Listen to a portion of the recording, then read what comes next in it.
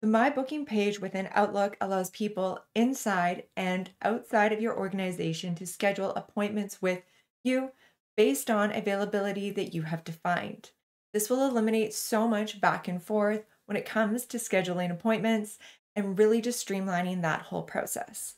Hi, my name's Amy. Welcome to my channel. Let's nerd out. To navigate to the booking page, we can open up Outlook and then select more apps. From here, we can locate bookings, and this will take us to our main booking page where we can manage our personal bookings as well as our shared bookings.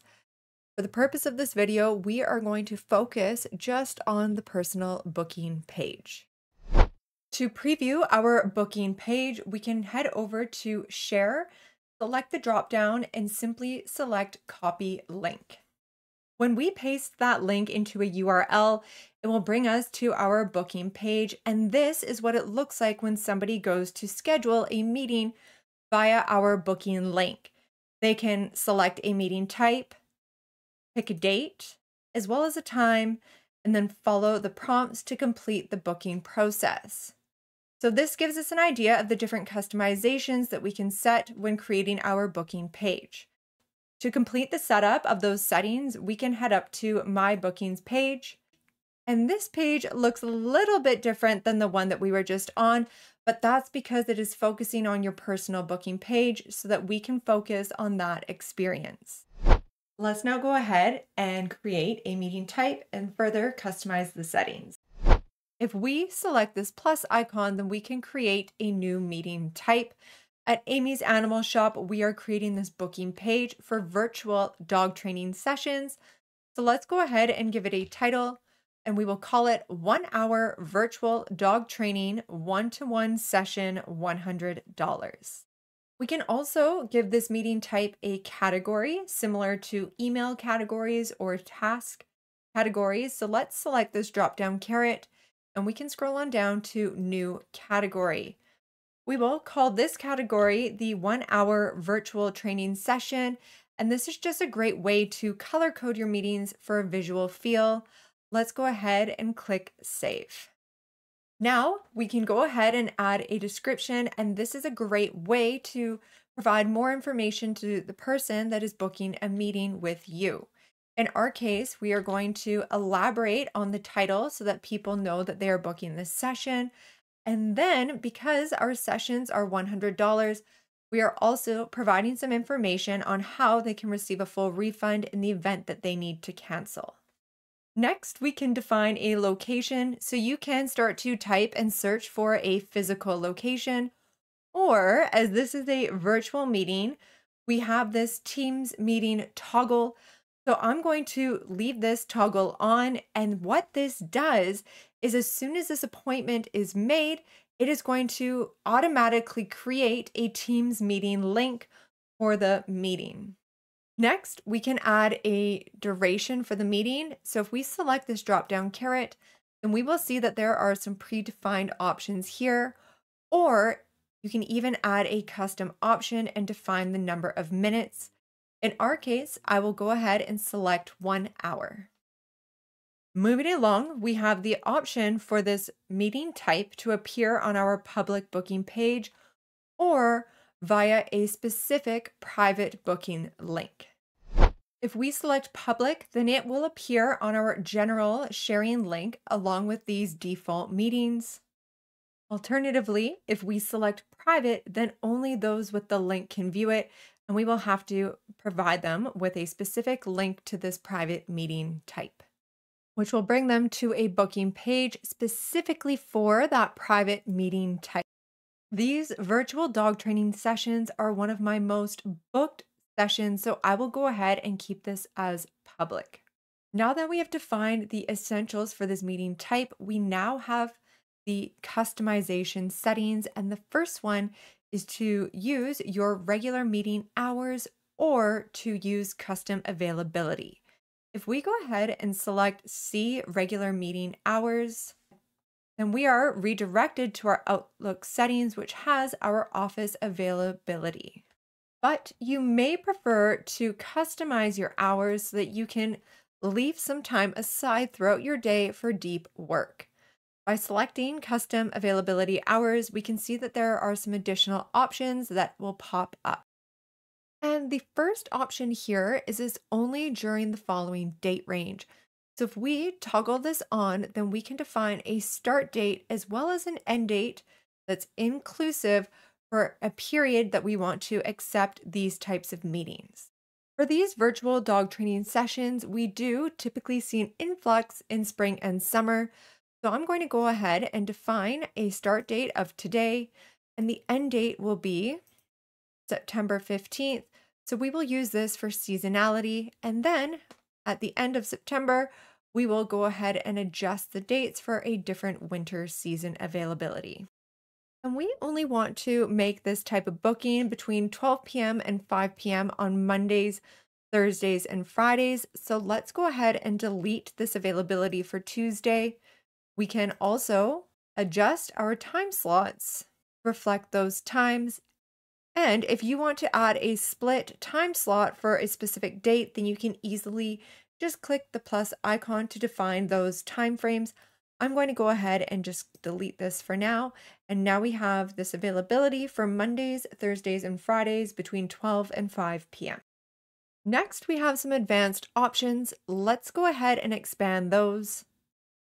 And we will see here that we can add a buffer time before our meeting, which in my case, I like to have 15 minutes to prepare myself and familiarize myself with the pet before I go into that training session. So let's go ahead and select 15 and we will see how that has now added a buffer of 15 minutes, which will be blocked in our calendar upon meeting. There is also this buffer time for after a meeting, which, you know, sometimes after that hour meeting, I do like to go and grab a glass of water. So I'm going to go ahead and select five minutes. Let's keep the start time interval to 30 minutes. And from our personal booking page, we can see for that training session that these time frame intervals are 30 minutes between them, which is that interval that we just defined. If we go ahead and update that to one hour intervals, then we can see those time slots update to one hour as well. Moving along, the next item is lead time. And so I like to have my bookings in place at a minimum of one day ahead that gives me time to prepare and plan for my day.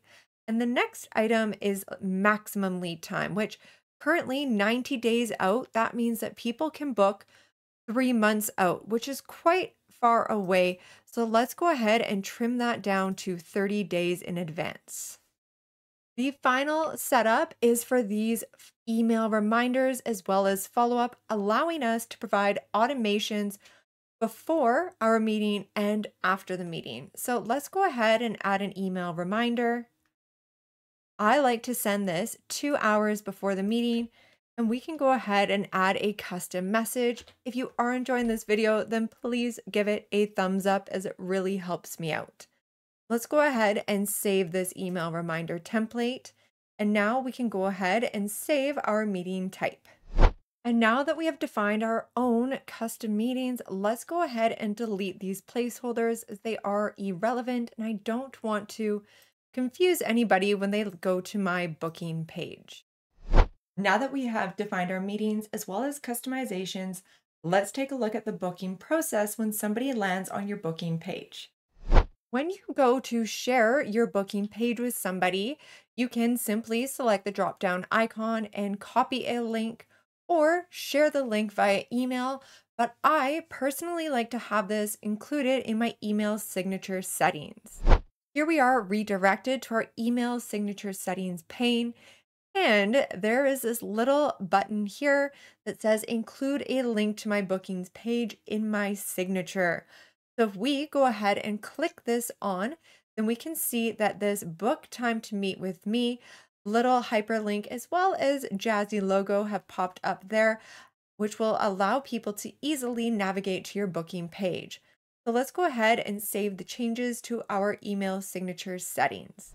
When somebody accesses your bookings page and they are not signed in or they do not have a Microsoft 365 account, then they can simply continue as a guest.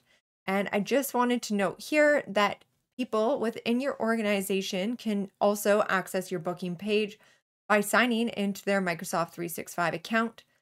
From here, they can go ahead and select a meeting type. And from this availability calendar, we can see that there's only that defined availability of Monday, Thursday, and Friday that we defined earlier in the customization settings. From here, we can go ahead and select a time and then follow the prompts to next. From here, they can add their name as well as an email that does not have to be an office type email, as well as some notes. And if you haven't already, then please consider giving this video a thumbs up as it really helps my video out. Once they have followed the prompts, they are required to verify their email address. Once they have verified their email, then they will appear on this You Are Booked page and they can click OK to get to the meeting details where they can reschedule, cancel, or create a new meeting. They will also receive an email that includes that Teams meeting link as well as if they do want to manage that meeting, then they can follow this manage meeting link from within this email confirmation, which will bring them back to this pane where they can once again reschedule, cancel, or create a new. When somebody books a meeting with you through your booking page, then you will see an email confirmation like this come through to your inbox. You will also see the meeting automatically added into your Outlook calendar and if we double click on this event, then we can see that there is that join the meeting now. So this is that Microsoft Teams meeting link that has automatically been generated. And if you need to cancel any of these meetings, then you can go to the manage meeting link and simply select cancel meeting. Look for a confirmation email message shortly. Let's go ahead and now take a look and see what that looks like. In your Outlook inbox, you will receive this canceled booking confirmation. And they will also receive a cancellation notice for that meeting. There are some additional settings that I wanted to show you before we wrap up. So you can, from your booking page, head to the ellipses and then select Edit Banner Image. From here, you can select a nice image and you will see that that can update in this banner at the top of your booking page. And last but not least, you can select the ellipses. And if you need to turn off your booking page for any reason, then you can simply select this option here and that will turn off your bookings page, preventing anybody from making a booking through your booking site. And if you are interested in learning about other great tips to take control of your Outlook calendar, then I've included another video linked here.